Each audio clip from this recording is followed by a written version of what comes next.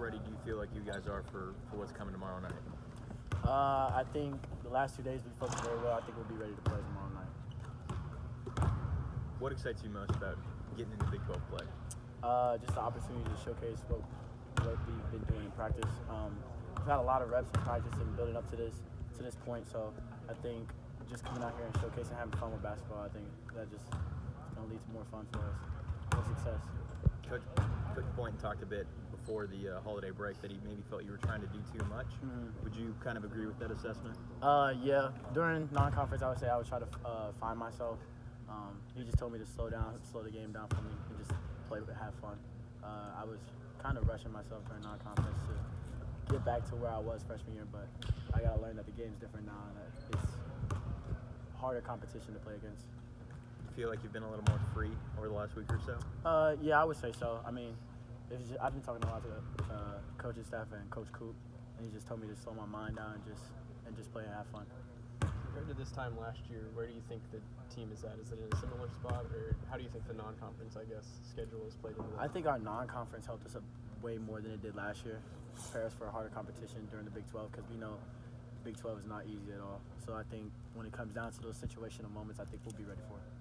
For you last season, watching those Big 12 games from the sidelines, what was the biggest takeaway you had kind of just about Big 12 conference play? It gets intense really quick. Uh, there's no shortcuts or anything that you can do. So you got to play every moment, every every time you're on the floor. You got to play hard. Whether you're on the bench, you got to cheer, bring energy to bring energy to the team and stuff like that. So I just think um, I think we'll be ready for it. From watching Iowa State on film, what have you gained about their team? Uh, they're a very good opponent, very good opponent. Um, I'm surprised they aren't ranked, but I think they're somewhat. We I think someone we can handle. Um, if we just come out and play our game, I think we can we can get, come out with a W. How important is it for you think the younger guys on the team that this first Big 12 game is at home? Uh, I think it's very good for them instead of a road atmosphere because that's very intense for. Uh, if it was a road atmosphere, that'd be intense for my freshman year. Uh, but I think they'll just come out, they'll just have fun with it and just play their game. I think they'll be fine. Which road game are you most looking forward to? Um, pretty much everyone, but I would say mostly K State, KU, since I'm from Kansas, so it's back home. So You have any New Year's resolutions? don't turn the ball over. A lot. That's pretty much mine. What have these, you know, first couple months of the season, getting back from the suspension, just what has that transition been like for you? Um, it hasn't been an easy one, but it's been a, it's been a ride. I, I've enjoyed it. Um, I mean, nothing in life comes easy. I've learned that.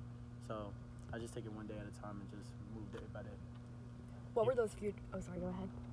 What were those few days like for you um, going home during break when you kind of had some time away from basketball? Um, I think it helped a lot, helped the mental aspect. Um, I think people really understand what it's like grinding in college basketball, but I think just getting a few days at home, getting a few days away from the game really helped a lot.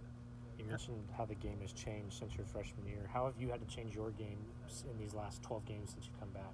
Um, a lot of teams have scouted me as a driver, so I've been trying to develop my shot a lot. So I think just getting more reps up on that, and then just the decision making process. I think if I just slow my mind down, the game will come more simple to me. So I just had to adjust it to that a little bit. How nice is this time of year to be able to worry about just basketball? Pretty nice. Uh, you ain't got to worry about school, but um, I think it's just good for us. We can just focus on that standpoint of, of things, just basketball, and just grinding out and working out, and still getting more reps in and stuff like that. So I think that helps a lot.